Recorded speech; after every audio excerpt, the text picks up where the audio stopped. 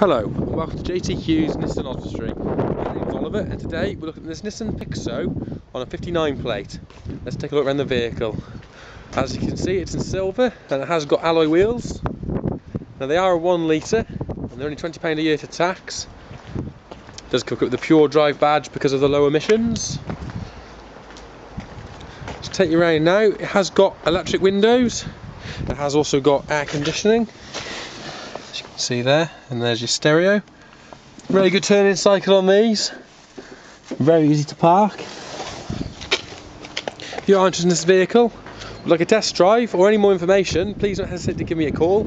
Again my name is Oliver and the number to call is 01691 663 999 however if I'm not available if you ask to speak to Trevor he'll be more than happy to help